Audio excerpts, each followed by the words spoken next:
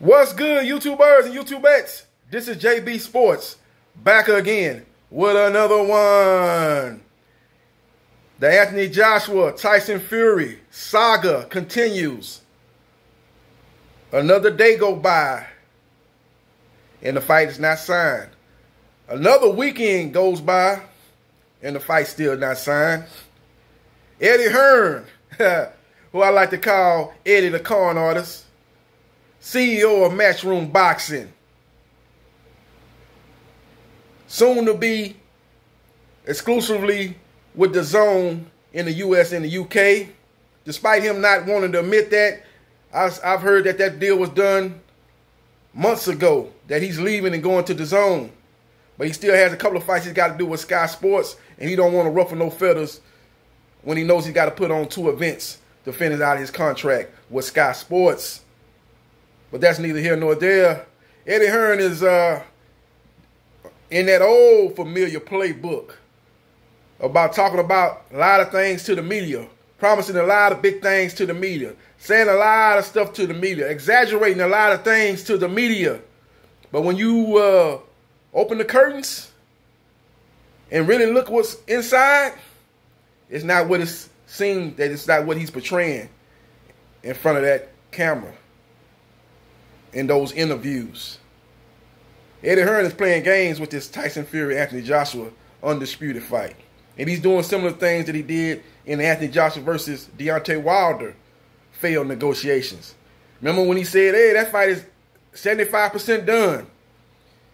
When he hadn't even really reached out to Wilder and his team. Wilder sent Eddie Hearn a $50 million deal. Not Eddie Hearn, but sent Anthony Joshua, his prime fighter, a $50 million deal. 50-50 on the pay-per-view. And Eddie Hearn and his daddy, Barry Hearn, a.k.a. Papa Hearn, made Anthony Joshua turn down that fight. Because Anthony Joshua has no say in who he fights. Whatever matchroom say is going to be a next opponent, that's who AJ going to fight. AJ ain't calling no shots. You think AJ wanted to fight Alexander Povetkin? Nah, he ain't want you. I don't miss me with all that. Oh, the WBA ordered him to fight him. He had to fight him. He's going to lose his belt. Yeah, that was after Eddie Hearn played games with Shelly Finkel and Deontay Wilder. You know, waiting, waiting, waiting to send the email, waiting, waiting days and days to answer emails. And when they sent the contract, amended contract with a few uh, things that they wanted to get answered, Eddie Hearn played games, was answering those uh, questions and sending the uh, contract back and messing around. And the WBA was getting tired of uh, playing a cat and mouse game. And they uh, they said, look, you know, let Eddie tell it. It was a Wilder team that was uh, dragging their feet, and they came on in, you know, at the behest of Eddie Hearn, and, and uh, forced that uh, mandatory fight for Alexander Povetkin versus Anthony Joshua. Now, he's doing some of the same things here. All his fights 90% done between Anthony Joshua and Tyson Fury. But then when you listen to Frank Warren, who is uh, Tyson Fury's UK promoter, he says, no, nah, it's not 90% done. We haven't even got a contract. But Eddie Hearn said both parties have got a contract. Both parties have agreed to everything on the contract. How you gonna agree to everything on the contract when you haven't even received a contract yet? He's playing games, everybody. He's doing similar things than what he did in the Anthony Joshua versus Deontay Wilder fight. He's just playing a different game. He's playing games. I'm not saying he didn't he don't want to fight between Anthony Joshua and Tyson Fury like he didn't want to fight between Anthony Joshua and Deontay Wilder. I'm not saying that because I think he's going to have to eventually do that fight because if this fight don't get done, oh, you talking about the curtains getting getting open. The curtain's going to be in, open and it's going to be on full display. So we're going to look at two different scenarios. When Wilder fought Fury, one and two, it didn't take this long. It didn't take all this dragging out, promising it's going to get done in the next couple of days. It got done quick, fast, in a hurry. So if both sides really want to get a fight done, it get it get done. Now I understand that we're dealing with a different dynamics with the pandemic. You got countries that are up under different uh, protocols, safety protocols, and different uh, calls as far as uh, what kind of crowds they can have in a particular country. I know the Middle East has got hit real hard with the COVID nineteen, so they're not hundred percent up and running, and they're taking the uh, being matchroom boxing and uh, top rank boxing, Queensberry promotion, guys that are uh, behind trying to get this fight done. They've got to, uh, you know, put a fight out and set it up in a future date, but you don't know what their future holds as far as uh, when is this pandemic going to get fully under control. You got the vaccines out.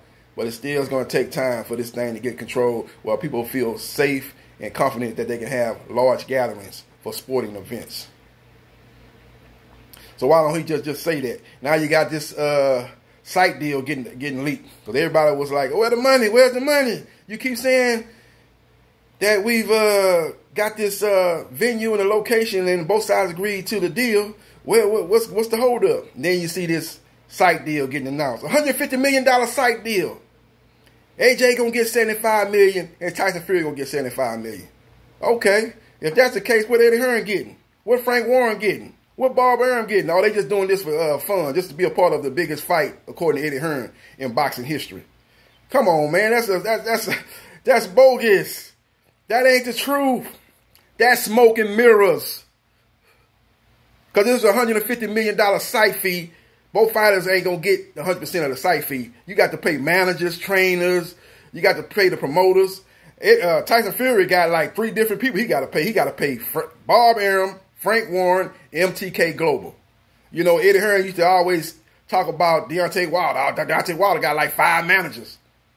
You know, he got to pay. Well, shoot. Tyson Fury got three people he got to pay. He got a bunch of people, so it ain't going to be no 75, 75. So that's not a true and accurate article that came out.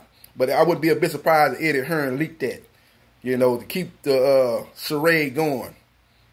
You know what I'm saying? The fight is not done. It's not close to being done until the contract is done. That's when it's done.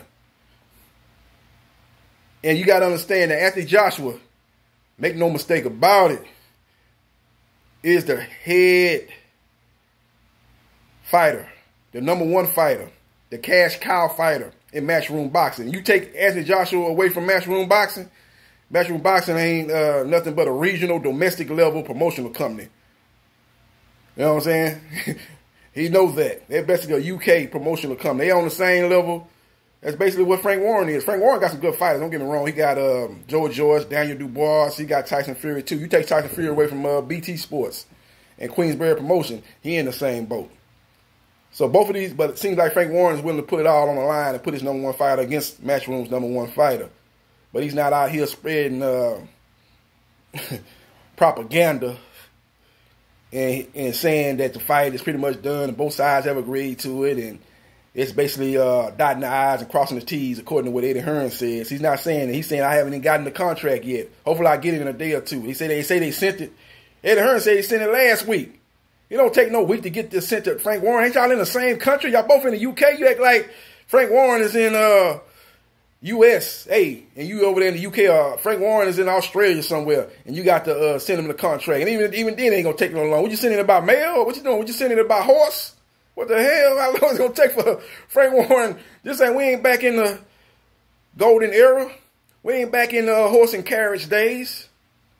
You understand me? We ain't back then. You know what I'm saying? It's an email. You know, it's a mail. You can send that contract within minutes. He, he uh, Eddie Hearn can send the contract to uh, Frank Warren, and Frank Warren can uh, receive the contract. It don't take this long, people. Wake up and smell the coffee. It smell good. Decaf, I think. Smell it. It's smoking mirrors, ladies and gentlemen. Eddie Hearn is the best smoking mirrors uh, promoting the game. Again, not to say he ain't trying to make the fight, because I think he's gonna have to make this fight because this fight don't get done. It's all eyes is gonna be on him. As far as why you can't get these big fights done, Bob Arum and Al Haymon came to agreement on two mega fights with Tyson Fury and Deontay Wilder, and you can't come together on one fight with Anthony Joshua and Tyson Fury, knowing that in the past you couldn't come together on a fight with Deontay Wilder a fight that you really didn't want in the first place. Your dad said that y'all was on a 10 fight plan, a 10 year plan, my bad, a 10 year plan. And you weren't looking to fight Deontay Wilder anytime soon. You say Deontay Wilder turned down a $120 million DAZN deal to fight Anthony Joshua. But you failed to mention that Anthony Joshua not even signed to DAZN. Just like this new deal that you got with DAZN, this nine-figure deal, according to you, got the, got with DAZN. Guess what? Anthony Joshua is not on that DAZN deal. He's not in that DAZN deal. Guess what? Dillian Whyte is not in that DAZN deal. And that's his two top pay-per-view fighters. So they're going to keep that pay per view uh, outlet going with uh, Matchroom Boxing. And that DAZN deal is for his other fighters up under the Matchroom Boxing banner. It's smoke and mirrors, people. That's what it is. It's smoke and mirrors. And don't fall for the okey doke. Look at what's real, what's real, and what's actually happening. Now, if this fight don't get done by the end of this week coming up, we're we're Sunday right now. If this fight don't get done by the end of this week, then let's just uh, everybody move on. You got Alexander Usyk waiting for his shot at the title. Set that fight up and quit playing game, and then you revisit a fight with Tyson Fury if you're successful against Alexander Usyk and at the end of 2021 when everything should be up and running for the most part. Everybody should be at 100% uh, open all across this world. And you can just pick and choose and go to the highest bidder. And then Tyson Fury can fight Deontay Wilder. Take care of that because Deontay Wilder gave him an opportunity two times. Take care of that fight. You can put that fight over there in Vegas. Vegas is going to be up and running 100% after June the 1st put that fight up in Vegas. Or maybe you can put that fight up in the Dallas Cowboys Stadium. As they seem to be on the brink of uh, hosting a big fight with Errol Spence Jr., aka Free Smoke, in a either uh, unification matchup with WBA champion Yordenis Ugas, or he's going to fight the Filipino icon Manny Pac-Man Pacquiao. That fight is going to take place on July the 10th. You can put it in that venue, or you can put it in the Alamo Dome. Put it there and that fight could take place possibly there in the Alamodome, where Gervonta Tank Davis fought Leo Santa Cruz, did a successful Showtime pay per view, did over 220,000 pay per view buys. Let me know your thoughts about Eddie Hearn playing games. Once again, and don't fall for the okey doke. Get the contract sent over to Frank Warren. It should take this long and make the fight happen. Quit trying to drag your feet. Quit trying to portray yourself in front of me as a guy that's working 25 hours, eight days a week to get the fight done. When the fight should have been already done, they agreed to 50-50 a long time ago, months ago. And here we sit here and the fight's not done. Let me know your thoughts in the comment section about Eddie Hearn playing games with Tyson Fury versus Anthony Joshua. Let me know your thoughts. And let me know if you think this fight's going to get done or you think both guys are going to move on and fight other opponents. Joshua versus Usyk and Fury versus Wilder. Let me know your thoughts. And I say, if nothing happened by the end of this week, then it's time to move on and quit quit with the rabbit, quit following Eddie Hearn down a rabbit hole about this fight pretty much being close. Let me know your thoughts about that and hit the like button if you like the content of this video and subscribe to JB Sports, the man, the myth, the legend, and I'll holler.